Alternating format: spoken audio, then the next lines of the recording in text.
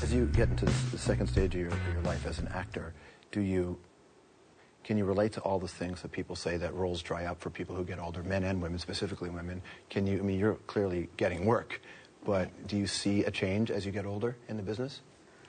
I've just been incredibly fortunate, and I think um, people are, there is a shift of awareness that, that people are interested in stories about people who are over, you know, the age of 12.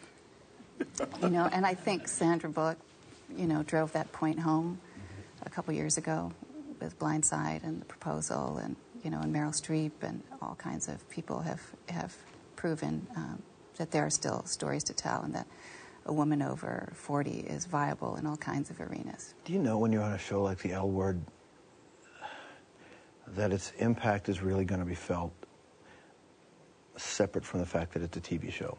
I had always hoped that it would, even when we first started. And I think sometimes that would make Ilene Chaiken, the show's creator, uncomfortable because it is such a crapshoot whether or not a show um, is allowed to continue. But, you know, my feeling was even if we only went for a few episodes or one season, that if we could address the needs of one young woman in some town somewhere who did not have access to her community as a lesbian, um, that I would be happy and that the show would have performed a service.